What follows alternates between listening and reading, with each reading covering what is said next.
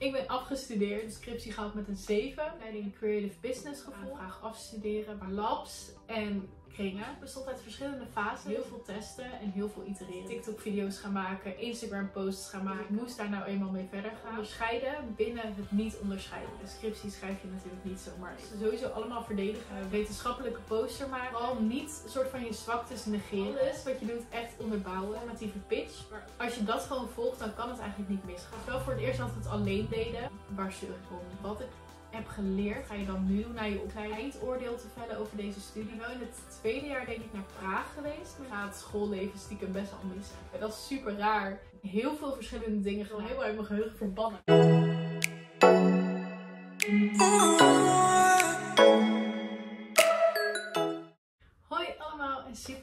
Kijken naar deze nieuwe video. Vandaag is de dag dat ik voor de allerlaatste keer een video ga opnemen over mijn opleiding. En het is zo raar om te zeggen, want dit is ook echt de eerste keer dat ik het hardop ga uitspreken. Ik ben afgestudeerd. Iedereen in mijn omgeving dacht dat ik het niet zou halen, maar puur omdat ik zelf de hele tijd zei van ja, maar ik haal het toch niet, ik haal het toch niet. Guess what? Ik heb mijn scriptie gehaald met een 7 en in deze video ga ik jullie er alles over vertellen. Ik heb de afgelopen vier jaar de opleiding Creative Business gevolgd. En ik heb dit gedaan op hogeschool in Holland, in Haarlem. En ik heb van elk semester, dus elk half jaar, een video gemaakt over mijn opleiding. Dus dat zijn in totaal acht video's en dit is alweer de allerlaatste. Creative Business is dus een media- en marketingopleiding en het is eigenlijk echt heel erg breed. Zeker de eerste twee jaar zijn gewoon nog heel erg algemeen. In het derde jaar ga je specialiseren door middel van een minor. Ik heb de AV minor gedaan en een stage en ik heb een marketingstage gelopen. En het vierde jaar staat in het teken van ehm, een half jaar dan nog wel gewoon school en een half jaar afstuderen. Afstudeeronderzoek, wat bij ons DBR heet, staat voor Design Based Research. En dat doe je voor een bedrijf. En dit voortraject startte eigenlijk al aan het eind van, de, van het vorige semester. Want je moest natuurlijk een opdrachtgever zoeken. Toen moest je een AA invullen. Dat is eigenlijk een aanvraag afstuderen waarin je het bedrijf voorstelde en een beetje je plan van aanpak en je voorlopige ontwerpvraag. En dan mag je dus begin februari gaan starten met afstuderen. Tijdens dit proces heb je verschillende labs en kringen. En labs zijn eigenlijk de lessen en die waren soms op school, maar voornamelijk online. Meestal waren deze op maandag. Ja, ik moet zeggen dat ik niet bij elk lab ben geweest, want de lessen bij mij op school zijn niet altijd mega nuttig. In het begin waren er wel nog wat nuttige lessen. Toen ben ik er ook wel best wel vaak fysiek even goed bij geweest. Richting het einde toe hadden we deze lessen eigenlijk veel minder. En als het er was, was het voornamelijk online. Waardoor ik eigenlijk maar één dag in de week naar school ging, vaak op woensdag. En hier had ik uh, mijn afstudeerkring. Dit was wel altijd echt heel nuttig, want ja, wij zaten dan met negen uh, studenten. Hadden wij twee coaches, die hebben ons eigenlijk het hele proces begeleid. Dus je kon vragen stellen aan hun. We hadden ook in onze kring soms wel interne deadlines. En dit is wel fijn, want het is ook een soort stok achter de deur. Het onderzoek bestond uit verschillende fases. En in de eerste fase, de discover fase, ging je dus vooral onderzoek doen naar het bedrijf en de branche van je bedrijf. Ik heb mijn onderzoek gedaan voor een sieraden- en accessoiresbedrijf. Dat er gewoon heel veel concurrentie is in die branche. Dat het bedrijf zich echt moet gaan onderscheiden en dat het vooral persoonlijk moet zijn.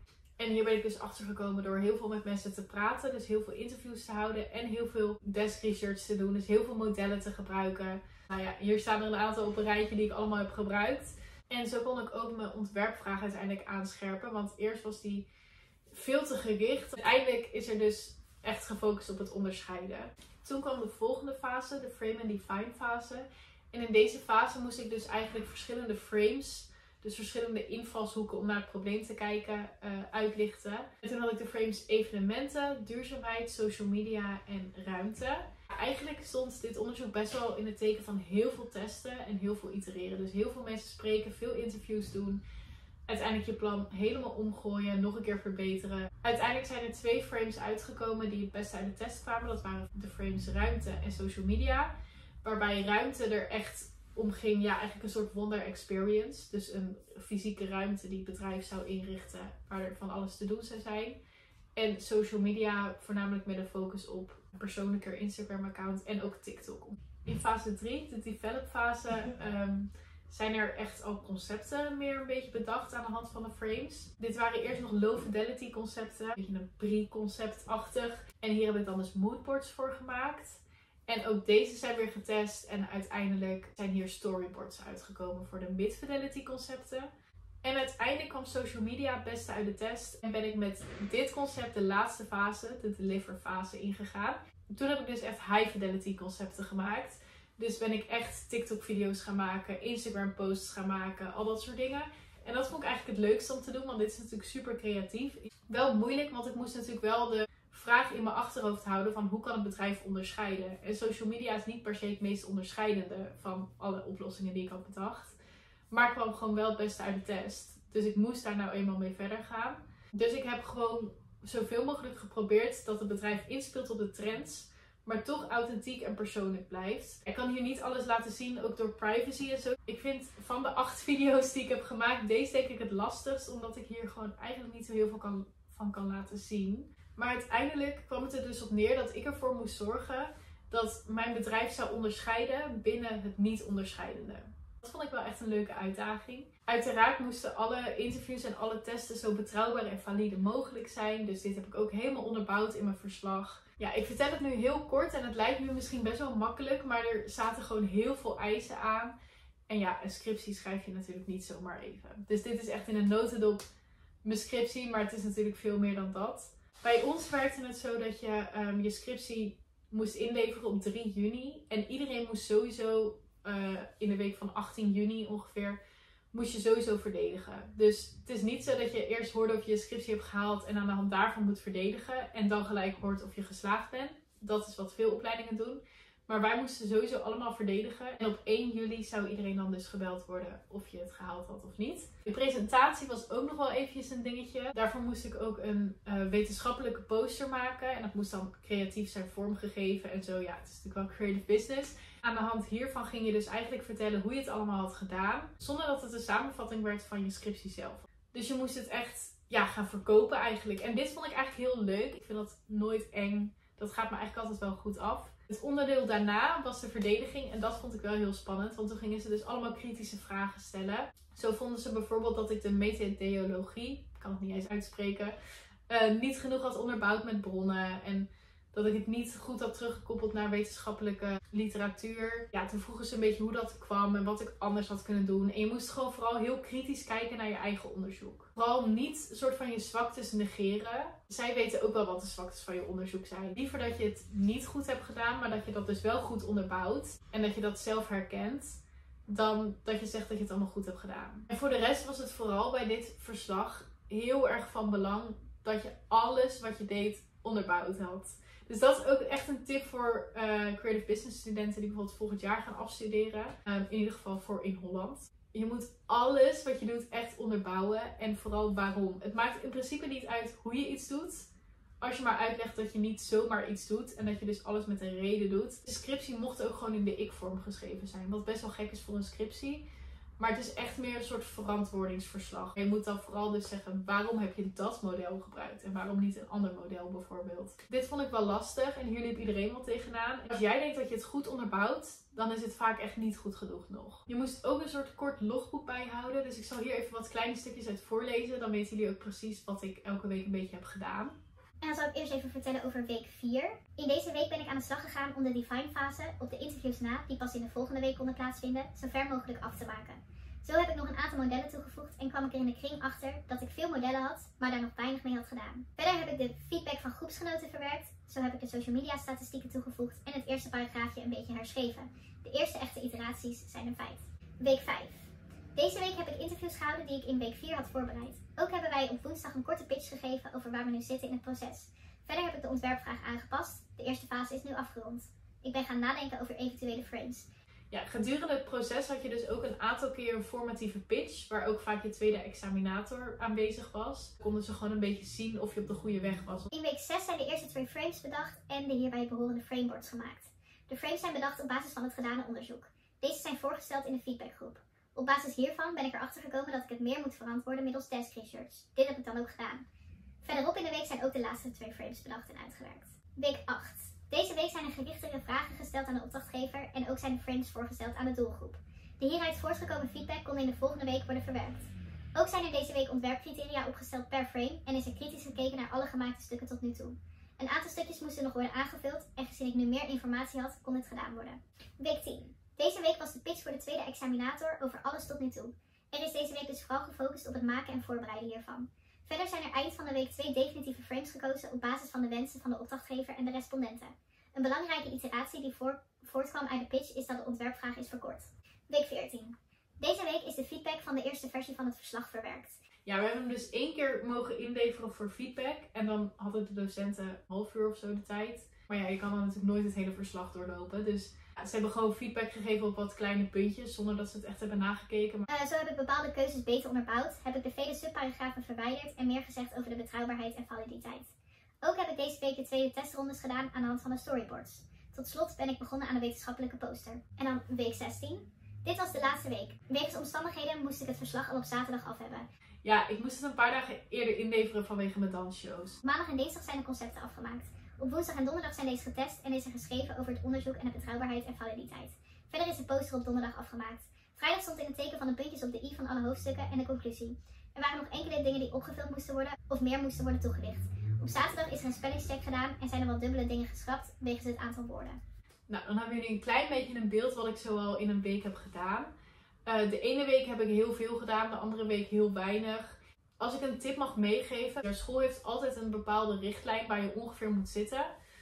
Als je dat gewoon volgt, dan kan het eigenlijk niet misgaan. Ik vond eigenlijk, en dat is nu achteraf natuurlijk heel makkelijk gezegd, vond ik het allemaal echt heel erg meevallen. Ik was echt vanaf het begin van mijn studie al mega bang voor mijn scriptie. Maar eigenlijk was het gewoon een verslag zoals we dat al hebben gedaan, maar dan wel op een andere manier. Het was wel voor het eerst dat we het alleen deden. Want ik heb alles in deze studie in projectgroepjes gedaan. Ja, en je moest dus alles echt heel erg onderbouwen. Echt nog veel meer dan dat het normaal al moet.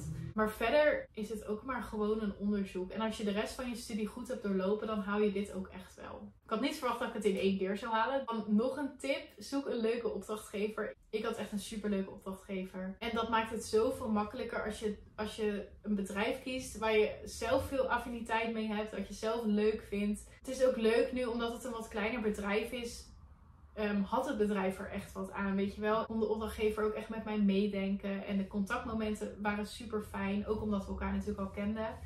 Ehm, maar dat helpt wel echt heel erg mee. De presentatie was dus eigenlijk gewoon onderdeel van je scriptie. Dus je kreeg ook maar één cijfer. En ik heb dus het hele semester gewoon afgerond met een 7. Ja, prima. Het cijfer boeit me eigenlijk ook helemaal niet. Ik wilde het gewoon halen. Over al mijn studiejaren zeg maar een gemiddelde van 7,44 ja, net geen 7,5. Dus dat wordt net nog afgerond naar een 7 en niet naar een 8. Maar ja, waar zeur ik om? Ik ben afgestudeerd en niemand kijkt volgens mij meer naar je cijfers. Ik vind het helemaal, helemaal goed.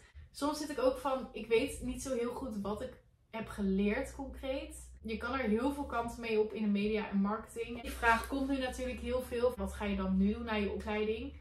Ja, ik weet het nog niet. Deze zomer blijf ik gewoon sowieso nog op de camping werken waar ik nu werk.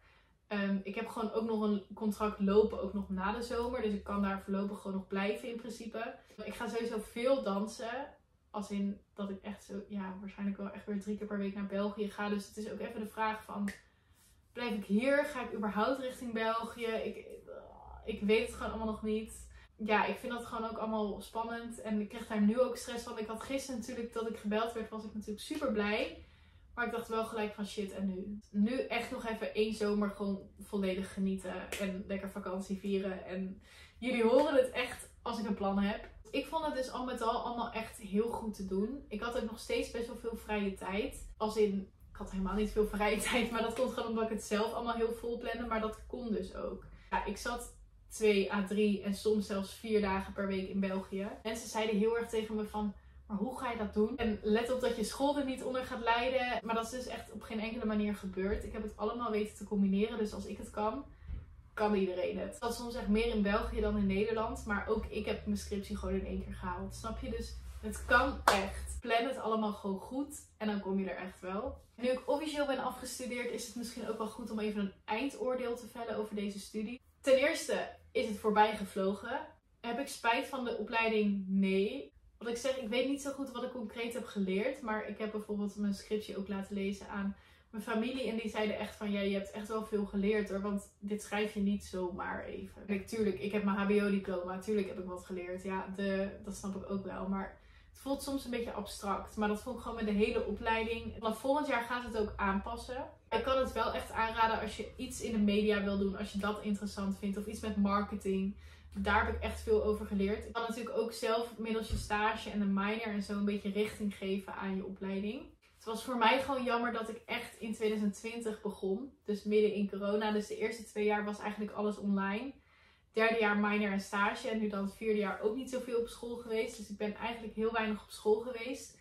Dus zo'n echt typisch studentenleven heb ik niet echt gehad. Ondanks dat ik wel bij een studentenvereniging ook zat. Nu moet ik ook zeggen dat er heel veel borrels en feestjes waren. En dat ik daar allemaal niet naartoe ben geweest. Omdat ik gewoon daar niet per se behoefte aan had. En ook niet echt heel veel medestudenten kende. Ik ben wel in het tweede jaar denk ik naar Praag geweest met mijn studentenvereniging.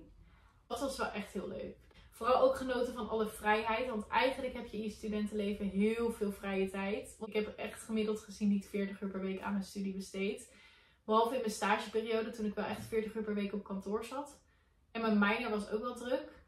Maar verder, ook als ik nu kijk naar afgelopen schooljaar, ik heb zoveel vrije tijd gehad. En als ik gewoon door de week wilde lunchen met een vriendin, dan kon dat. Dus echt zoveel vrije tijd als je nu hebt in je studentenleven, ga je niet meer terugkrijgen. Dus geniet ervan. En ik weet ook nu echt als een oma klink, maar ik ga het schoolleven stiekem best wel missen. Mijn leven was natuurlijk zo erg uitgestippeld. Vanaf mijn vierde ben ik naar school geweest. En was dat mijn main focus. Ja, aan de ene kant blij dat, dat ik er nu vanaf ben. En dat ik het allemaal heb gehaald. En dat het allemaal zo goed is gegaan. Aan de andere kant een beetje dubbel. Omdat gewoon dit schoolleven nooit meer gaat terugkomen. En dat is super raar. Dit was een mega onsamenhangend verhaal. Als jullie nog vragen hebben over creative business of over afstuderen, laat die zeker weten. Mag me ook altijd een DM sturen. Als je volgend jaar gaat starten op creative business, heel veel succes en heel veel plezier. Ik heb een hele leuke tijd gehad op de opleiding. Heel veel verschillende dingen gedaan eigenlijk. Ik zal de eerdere video's allemaal hieronder even linken. Dan kan je ook gewoon precies per semester zien wat ik dus allemaal heb gedaan. Maar het is heel variërend geweest. Um, wat het natuurlijk ook wel heel leuk maakt. Ik hoop dat jullie deze video een soort van leuk of informatief vonden. Um, bedankt voor het kijken. Geef hem even een duimpje omhoog. Vergeet je niet te abonneren. En tot de volgende keer. Doei doei! Ga je dat zien? Nou, anders is hij, hij is echt te groot. Waarom zijn hier zoveel mensen in huis? Twee weken klaar met mijn scriptie en ik heb het al helemaal uit mijn geheugen verbannen. Ja, ik heb by the way oranje aan, want Nederland speelt straks. Oh.